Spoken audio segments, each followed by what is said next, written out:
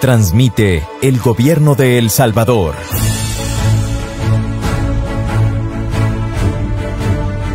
Todos los canales y emisoras deben enlazarse a la cadena nacional de radio y televisión.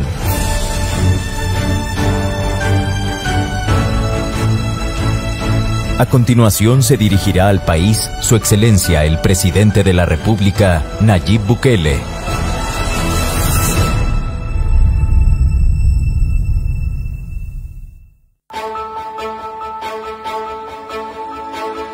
Transmite el gobierno de El Salvador.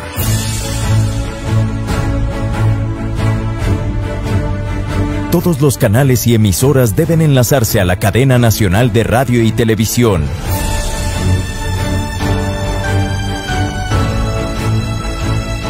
A continuación se dirigirá al país Su Excelencia el Presidente de la República, Nayib Bukele.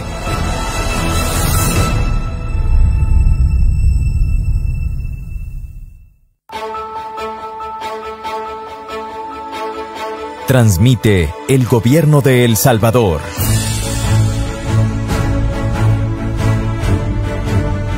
Todos los canales y emisoras deben enlazarse a la cadena nacional de radio y televisión.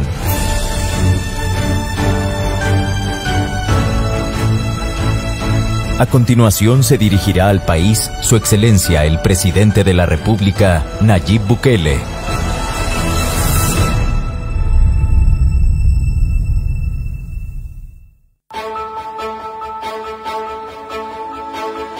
Transmite el gobierno de El Salvador.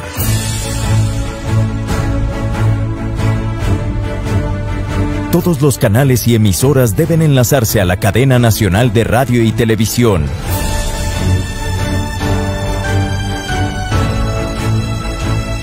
A continuación se dirigirá al país Su Excelencia el Presidente de la República, Nayib Bukele.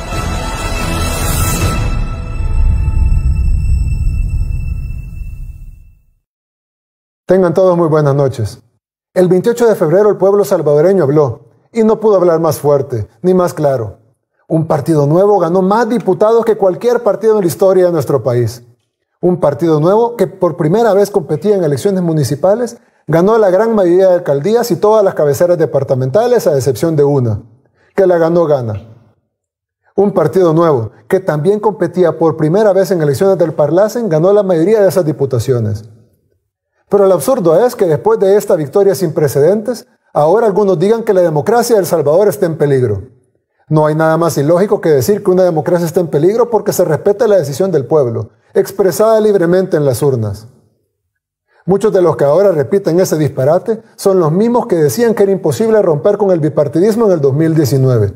Son los mismos analistas que desfilaron por meses antes de las elecciones tratando de hacernos creer que con un sistema electoral de cocientes y residuos era imposible ganar la mayoría simple con un solo partido, mucho menos la mayoría calificada. Son los mismos que nos han demostrado no tener conocimiento de cómo piensan y sienten los salvadoreños. Por eso fallan tanto en sus análisis.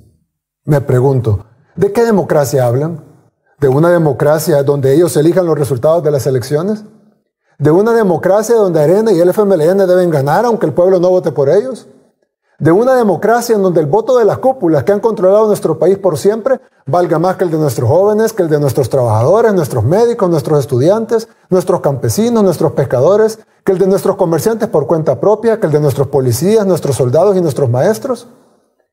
Quiere decir que solo les gustaba la democracia cuando los elegían a ellos, pero le temen a esa misma democracia cuando el pueblo decide elegir diferente.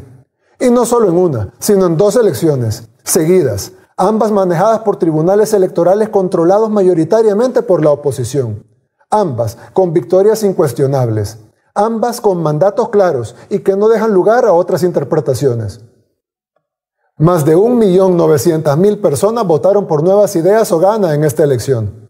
Medio millón más que en el 2019, cuando ganamos la presidencia de la República en primera vuelta, con más de 1.400.000 votos en elecciones legislativas, que suelen tener menos participación que las presidenciales. Comparando la última elección legislativa con esta, la participación general subió 8% y los votos nulos bajaron 75%. Es decir, en 2018, casi 200.000 personas votaron nulo. En 2021 ese número bajó a la cuarta parte. Y para los que insisten en comparar elecciones presidenciales con legislativas y usan ese argumento para tratar de vender la idea de que la participación fue menor, les recuerdo que nosotros obtuvimos medio millón de votos más que en la elección presidencial. Y si acaso hubo una baja en el número de votos totales, fue por la caída estrepitosa de Arena y del FMLN. No importa si a los grupos de poder tradicionales les gustó el veredicto del pueblo salvadoreño o no. Ellos siempre tendrán el derecho a dar su opinión, a lo que ya no tendrán derecho es a legislar desde sus despachos como lo hacían antes. El pueblo no eligió a sus diputados. En otras palabras, ellos podrán seguir opinando, analizando y publicando comunicados, porque en este país se respeta la libertad de expresión. Pero no esperen que eso se traduzca en leyes, decretos ni elecciones de segundo grado, porque sus diputados no ganaron. Quienes se molestan son los mismos que cuando ganan una elección elogian la sabiduría del pueblo. Pero ahora que han sido fuertemente derrotados, subestiman la inteligencia del pueblo y quieren adjudicar la derrota al odio, al resentimiento y a la manipulación. La gente eligió nuevos diputados, que están obligados a respetar la voluntad del pueblo y a no dejarse influenciar por los grupos de poder que fueron rechazados por los votantes en las urnas.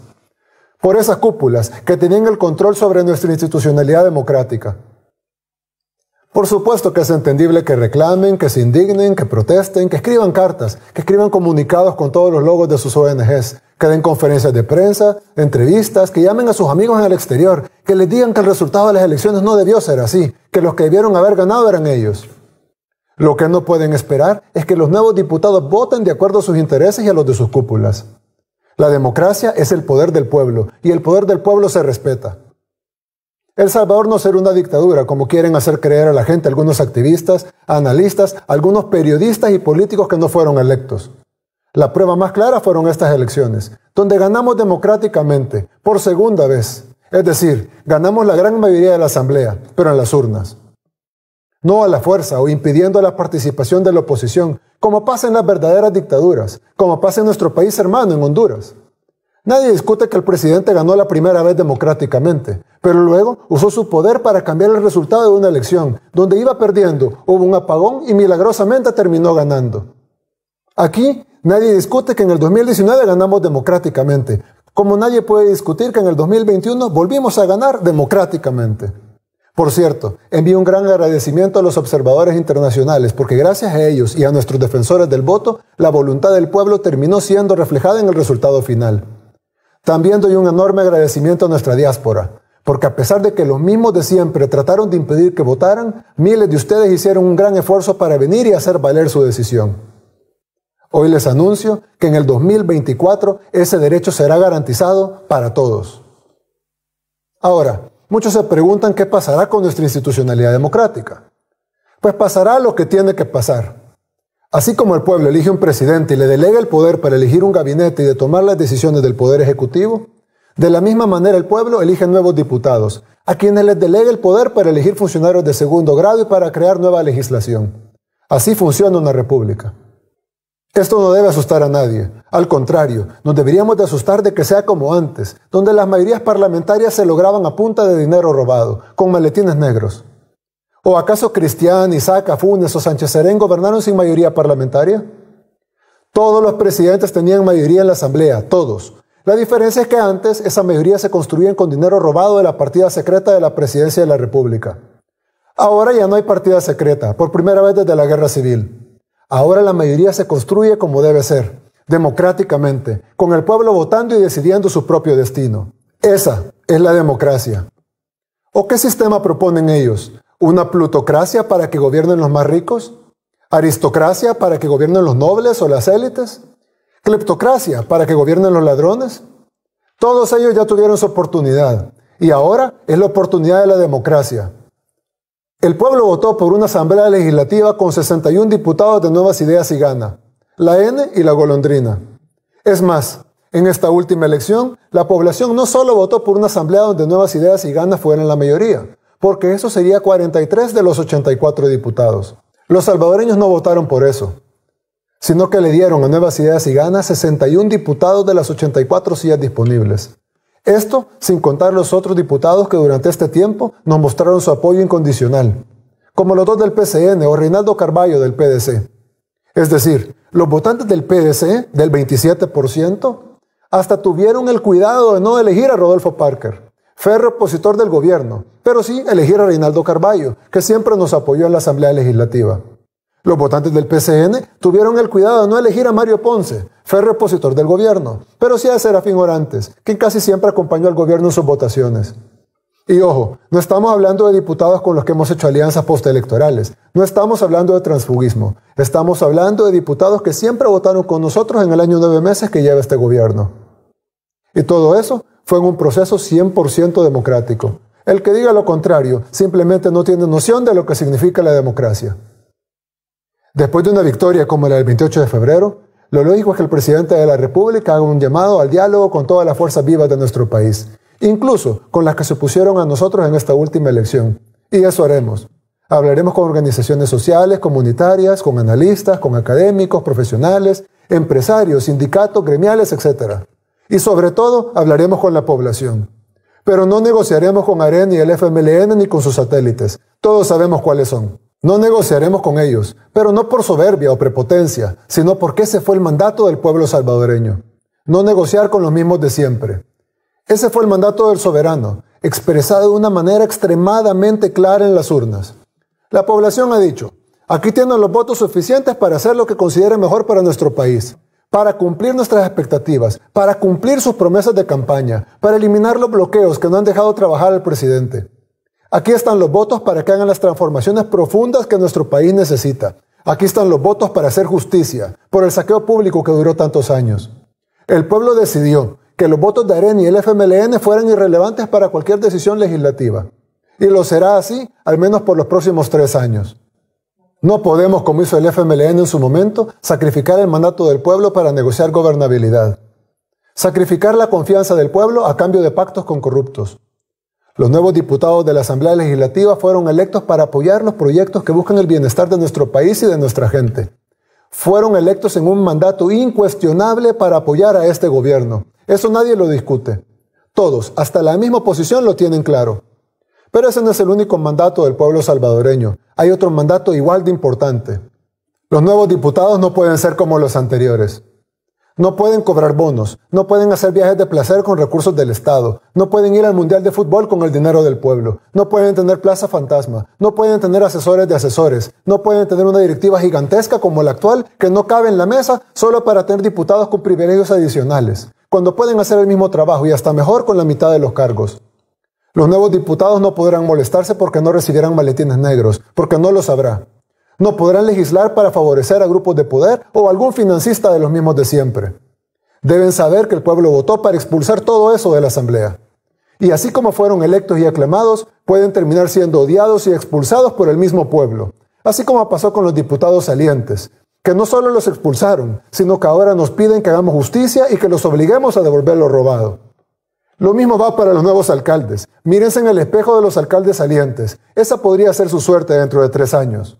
Todo depende, al igual que los diputados, de que cumplan, que respeten el mandato del pueblo salvadoreño, que decidió expulsar a los mismos de siempre y a sus satélites, incluso de las decisiones municipales. Nadie espera que sean perfectos, porque perfecto solamente es Dios. Nadie espera que tengan la varita mágica. Nadie espera que resuelvan 200 años de abandono en un año. Pero el pueblo sabe cuando un gobierno, una bancada de diputados o un alcalde está trabajando para ellos o no. Ahora tenemos que salir al encuentro del 27% que no votó por nosotros y darle salud, educación, seguridad, oportunidades y obras como cualquier otro salvadoreño. Tenemos que mejorar la vida de todos, independientemente de por quién votaron. Todos los salvadoreños esperamos tener una nueva asamblea, como nunca antes hemos tenido, con diputados para que los intereses del pueblo sea lo más importante, que trabajen incansablemente por El Salvador, sin egoísmo y sin corrupción. Una nueva asamblea, que legisle sin distinciones. Nuestro país cambió para siempre. Ahora los salvadoreños podemos escribir una nueva historia. Que Dios nos bendiga a todos y que Dios bendiga a El Salvador. Muchas gracias.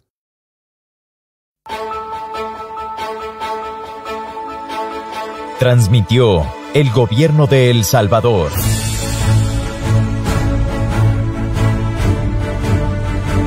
Agradecemos a los medios de comunicación por enlazarse a la cadena nacional de radio y televisión.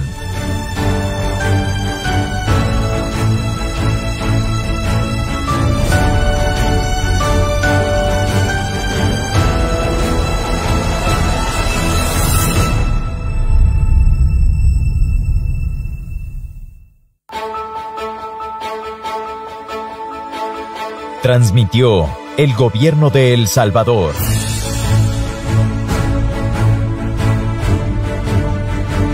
Agradecemos a los medios de comunicación por enlazarse a la cadena nacional de radio y televisión.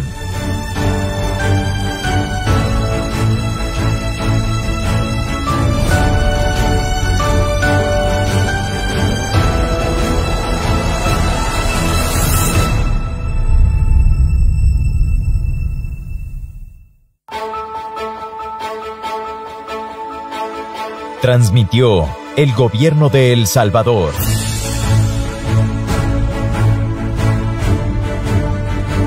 Agradecemos a los medios de comunicación por enlazarse a la cadena nacional de radio y televisión